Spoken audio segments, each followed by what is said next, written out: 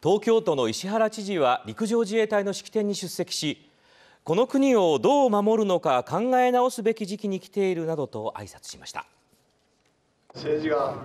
妄想を暴露してですね私たちはですね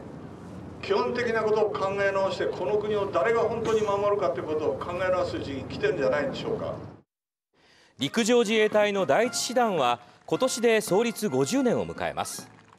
東日本大震災では延べ3万人が福島第一原発などに派遣され除染や住民の一時帰宅の支援活動などを行いました。記念式典で石原知事は国政の現状を批判するとともに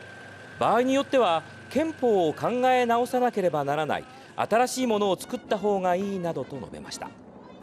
石原知事は今週訪米しワシントンで開かれている全米桜祭りに出席する予定でシンポジウムで日米関係について講演する予定です。